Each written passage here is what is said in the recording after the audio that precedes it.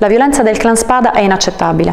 Esprimiamo la massima solidarietà al giornalista e all'operatore brutalmente aggrediti ad Ostia. In questo caso le istituzioni devono essere l'argine alla criminalità e agli estremismi. Non a caso nei giorni scorsi ho segnalato l'inquietante presenza del clan Spada all'esterno dei seggi durante le operazioni elettorali ad Ostia.